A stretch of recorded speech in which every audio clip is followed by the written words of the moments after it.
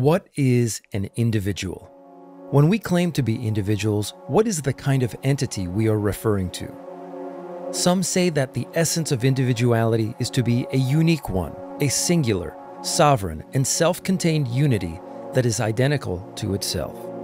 One of the challenges to this sort of definition of individuality is that our real experience of being an individual involves the presence of contradictory impulses and desires within our body.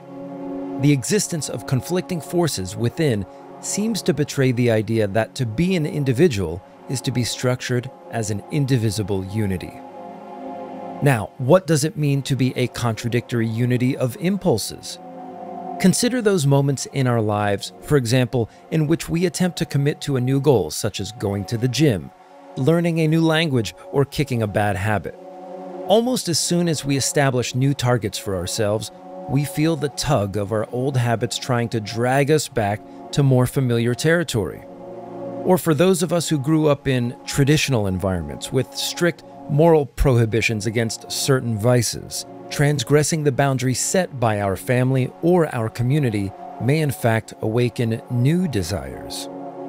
Such challenges to established values might arouse within us existential dilemmas about who we really are or what principles define us. These tensions tend to motivate a perception that we are fragmented or divided against ourselves. In short, rather than our individuality seeming like a self contained unity, it is as if who we are, our bodies, comprise an ensemble of different forces, various impulses that vie for supremacy in a kind of combat.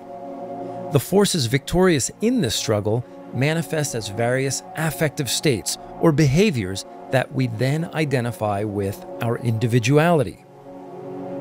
Artist, writer, and philosopher Pierre Klossowski offers a series of concepts which not only serve to address the problem of the contradictory unity, but Klossowski's work also broke new ground in the research area of political economy. His writings introduce to us a new basis to think the relationship between desire, politics, and the social field, in what some philosophers today call libidinal economics. Throughout Klossowski's corpus of theoretical and literary works, the concept of impulses, or impulsional forces, remains a central idea. Klossowski's view of impulsional forces in part derives influence from theories of the soul, familiar to early Christian mystics and heretical theologies of figures such as Meister Eckhart and Teresa of Avila. The general view Klossowski adopts is that the soul does not consist of the determinations which make it transparent through forms of interpretation or signification. The image of the soul is, in a word, imageless. As suggested at the top of the video, Klossowski's conception of the soul observes the free play of impulsional forces in a state of constant struggle with one another. The activity of the soul is constant building up and breaking down of the self, or what Klossowski calls the suppôt. The fluctuations of the soul only become intelligible to the suppôt when they are translated into images or forms of discourse. The problem is that these translations ultimately betray the incommunicable character of the soul in their various ways of becoming transparent, such as in the form of fine art, creative writing, or even theoretical concepts.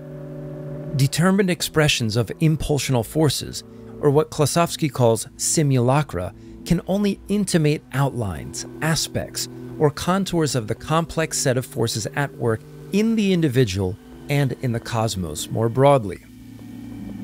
As Klossowski continues to develop his theory of impulses, he eventually strays from theology and moves his theoretical investigation to the material body in its worldly immanence.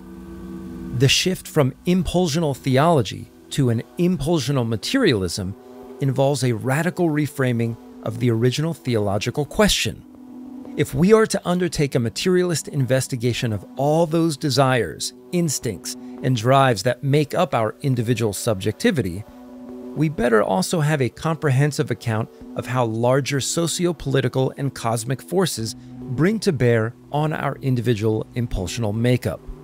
What's more, For Klossowski, it isn't so much that we as individuals act out impulsional forces, but that we are acted by them. He insists that impulsional forces maintain a kind of autonomy outside of our subjective viewpoint as individuals. Klossowski moreover asserts that the ebb and flow of most impulsional forces remain outside the scope of our conscious awareness. Take, for example, the numerous involuntary functions of our bodies. These functions remain largely opaque to us, except when they manifest as observable changes of some kind. Add to that the soup of mixed feelings, the onset of various cravings, and the flights of the imagination we are subjected to daily. Our bodies are veritable arenas where multiplicities of impulsional forces attempt to assert their primacy over a plethora of other contenders.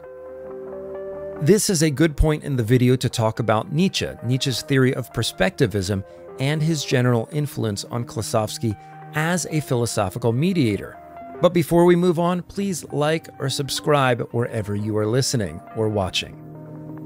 Often people confuse the idea of Nietzsche's perspectivism with the notion that it denotes the existential and moral perspectives of disparate individuals.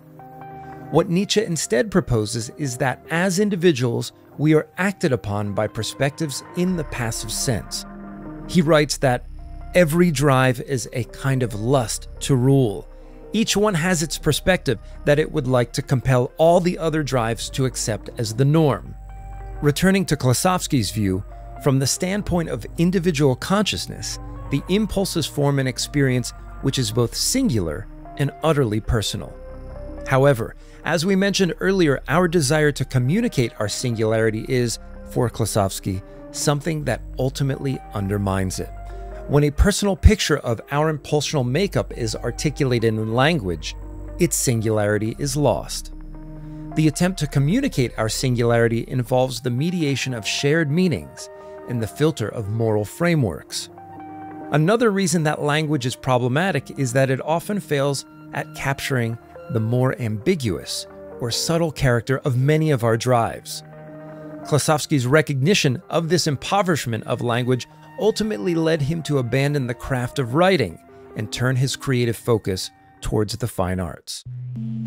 Finally, in Klossowski's Analytic of Concepts, there is another idea he uses to describe how impulses aggregate into more complex affective or emotional states, a concept he calls the phantasm. Like impulses, we experience phantasms prediscursively. Phantasms, too, are unable to find total expression in simulacra or linguistic conventions. But how do phantasms differ from impulses? Well, imagine falling in love, for example. With the impulsional theory of desire in mind, how might we explain the feeling of falling in love?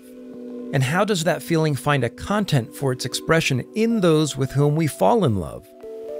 Phantasm for Klossowski denotes the coalescence of impulses into obsessional images. In the phantasmic image, we are enraptured by obsessions or longings such as falling in love. Phantasms constitute an aggregate of more turbulent flows of desire. Additionally, the spell of the phantasm creates a kind of affective image that is non representable. Nonetheless, phantasms find a content in specific iterations of desire. For instance, over the course of a lifetime, we may fall in love more than once, and perhaps we will do so many times. Our repetition of the obsessional pattern of falling in love is likely to involve the same emotional tendencies. It will also involve familiar templates for interpersonal conflicts. Not to mention that we may find ourselves attracted to a specific type of lover, and so on.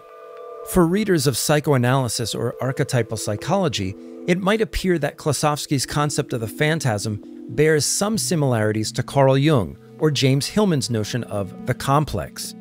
Insofar as a complex involves recurrent fantasies populated with unconscious archetypal images.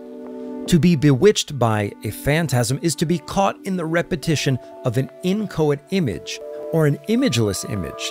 Regardless, the phantasm is an intimate image which subtly transforms over the course of one's life. In the end, Phantasms suffuse our relationships, they pulsate from within our internal conflicts, and they may reveal some of their hidden contours in our aesthetic portrayals of them. Thanks for listening or watching. There is, of course, so much more to say about Klossowski's theory of impulsional forces.